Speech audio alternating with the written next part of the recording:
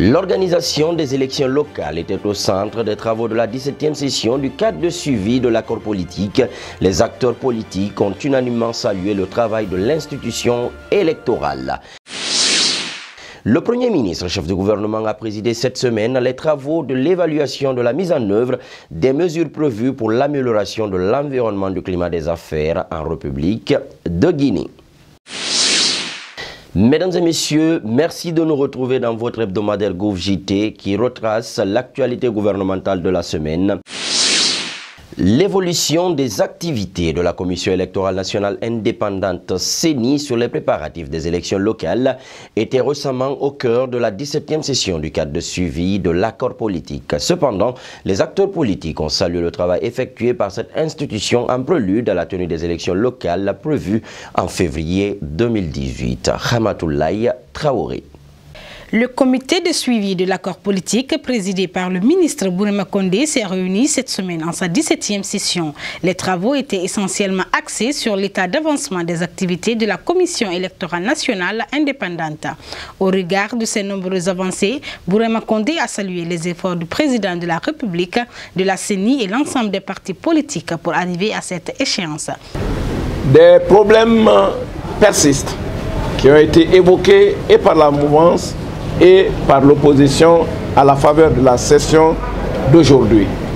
Il s'agit notamment de ces documents juridiques qui sont indispensables dans le paquet de dossiers que doivent déposer ceux-là que les partis ont cooptés pour faire partie des listes, n'est-ce pas, des conseils communaux.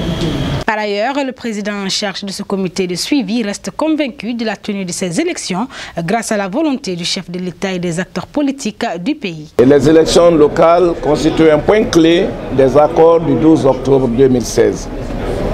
Beaucoup de choses ont été dites au cours des dernières sessions liées à la tenue effective de ces élections. Mais aujourd'hui, par la volonté du président de la République, qui a posé les actes juridiques incontournable pour arriver à cette échéance-là, grâce à l'engagement des acteurs politiques aussi, de l'opposition et de la mouvance, je crois que les Guinéens sont de plus en plus rassurés qu'à la date du 4 février, eh bien, ils vont se rendre aux urnes. En attendant la tenue de ces élections communales en Guinée, une commission du comité de suivi est mise en place pour sensibiliser les populations sur la portée et les avantages du dialogue politique dans tout le pays.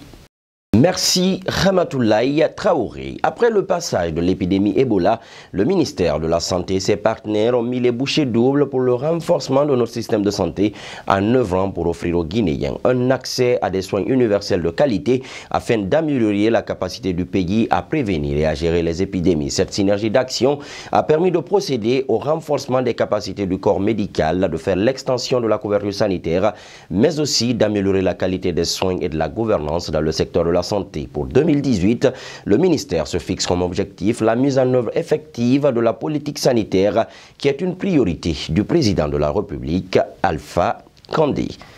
La mise en œuvre effective de cette politique qui veut que dans chaque village de la Guinée, il y ait un professionnel de la santé rémunéré pour 650 habitants. Ceci permettra de conduire le pays vers la couverture sanitaire universelle ambitionnée par le président de la République, chef de l'État, le professeur Alpha Condé, pour tous les Guinéens.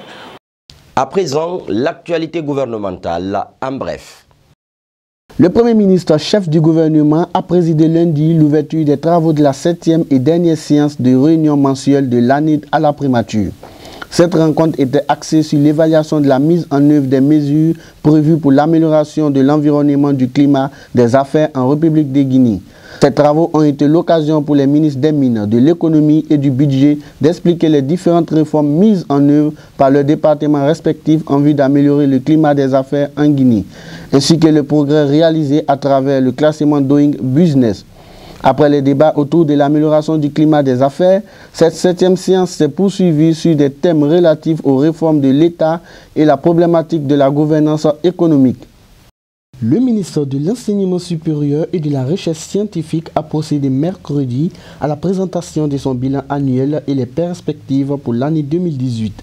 Face à la presse, le ministre Abdoulaye Baldé a rappelé que les acquis de son département pour l'année 2017 sont essentiellement fondés sur six axes fondamentaux, dont l'amélioration de la gouvernance du système et des institutions, l'amélioration de l'accès et l'équité en matière de construction d'infrastructures et d'équipements, au compte de l'année 2018, le ministère entend procéder à la révision du mode d'allocation des ressources financières aux institutions, la mise en place des CIA dans toutes les institutions, la mise en place des classes préparatoires dans les grandes écoles, mais aussi l'instauration du concours d'accès aux écoles d'ingénieurs et à l'Institut supérieur de l'information et de la communication. Le ministre d'État au transport a reçu cette semaine une mission de l'équipe du cabinet Transitec chargée d'élaborer une étude sur la mobilité publique et le transport.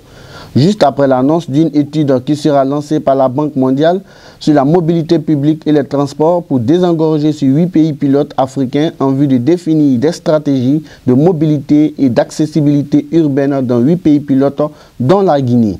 Le premier constat qui va produire cette mission sera le rapport intermédiaire qui va donc dresser l'état des lieux conformément aux attentes de la Guinée. Les résultats de ce rapport seront partagés à travers le Forum national qui va regrouper l'ensemble des parties prenantes dans le cadre d'une assise sur la mobilité urbaine en Guinée. Le ministre de la Culture, des Sports et du Patrimoine historique, Sanoussi Bantamasso, a présidé récemment l'arrivée du Tour cycliste de Guinée 2017. Lancé le 14 décembre dans la région administrative de Boké, la première étape a été parcourue en 117 km entre la ville de Boké et celle de Bofa. Ensuite a suivi un parcours de 50 km entre Bofa et Tormelin et un autre parcours de 50 km entre Tormelin et Fria.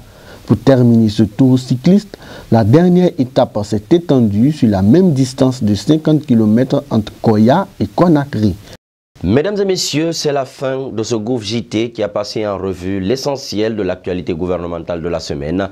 Rendez-vous la semaine prochaine pour un tour d'horizon de l'actualité gouvernementale.